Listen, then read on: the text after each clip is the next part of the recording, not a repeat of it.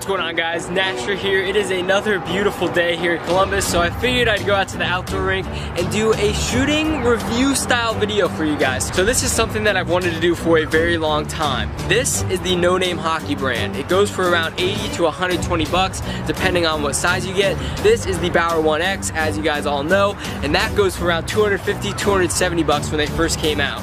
So there are huge price differences in these two sticks. I'm gonna take them out here, do a few shooting challenges. We'll do some posts, some crossbars. Um, I also have some paper plates, so we'll be doing some target practice. So I'm gonna go ahead and see what the difference is between these big brands, you know, like Bauer. We all know the NHLers are using that. And then this off-brand called No Name Hockey. Let's go on in and see how it goes. Alright, so there's a few challenges that I want to do today with these sticks. The first one is going to be a left post, right post, crossbar. So I have to hit each of those uh, for that challenge to be complete. I have a total of eight pucks. I'm hoping we can do it in that. If not, I'll run back, grab some more pucks, and keep on shooting. The second challenge is a crossbar challenge. I'll be taking both sticks and attempting to hit this crossbar with as many of those eight pucks as I can. And the third and final challenge is going to be the four corner shooting target practice. I've got those paper plates, I'll get those set up, and then we will be good to go. Let's hop into the shooting. First stick, no name hockey brand. We're going left post, right post, crossbar. One,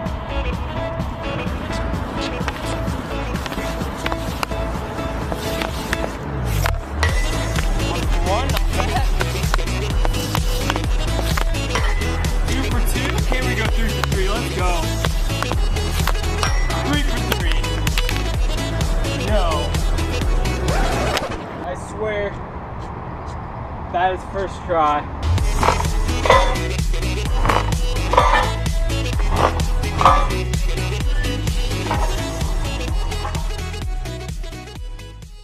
Obviously that went pretty well. It felt pretty good. Um, coming off the stick, I felt like the shots were nice and hard. The one thing that I did notice is I'm not too much a fan of the flex. It feels a little bit stiff for me. But hey, got the job done. Let's try it here.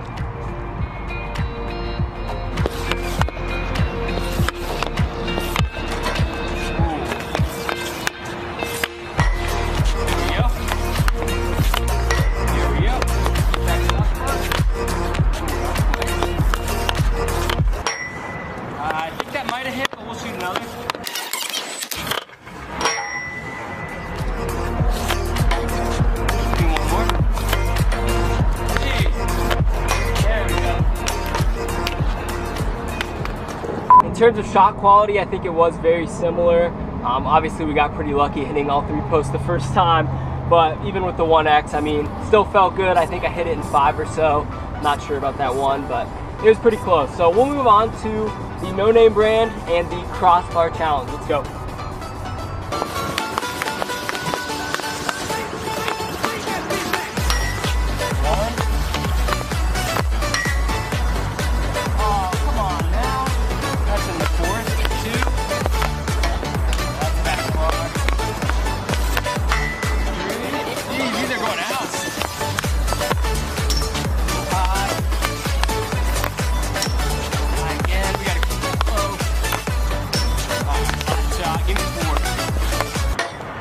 Was back bar two. Alright. I gotta go chase some pucks, but we hit three, and then we had a couple off the back bar as well. I mean, it felt good. I'm gonna go grab these. We'll get to the 1X. Back in my prime, I used to be able to hit 10 for 10 with this thing off the crossbar. We'll see how it goes now.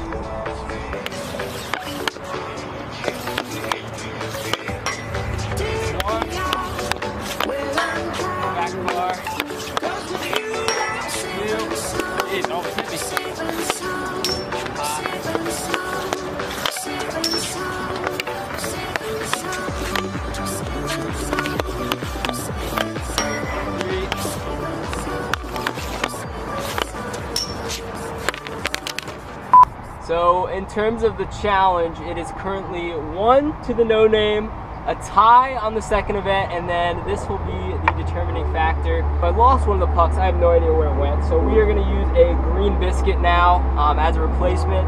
I'm gonna go ahead and hop over here, I'll set up the targets and we will be doing the final event, which is the target shooting challenge. Plates are good to go. We're doing fewest amount of shots. We'll start with the no name and then move to the 1X. Go.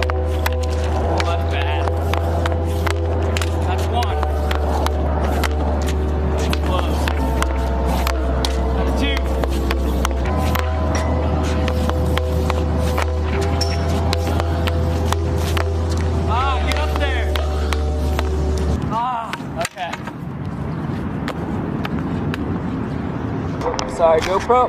So that is eight shots, eight pretty solid shots, even though they all didn't hit. Uh, we're gonna be shooting on this right side now, trying to hit these two targets.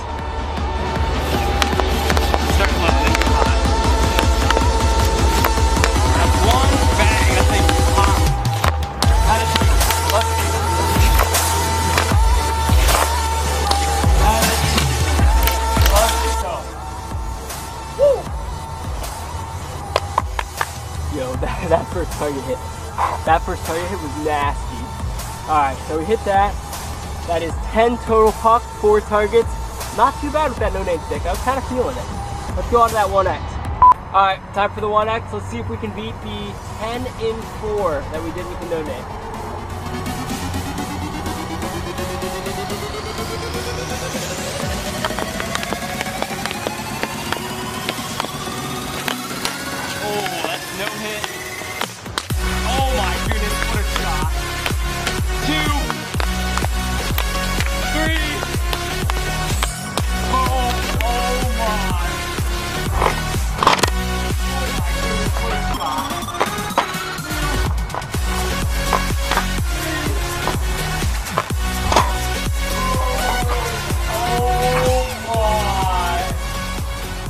Let's go.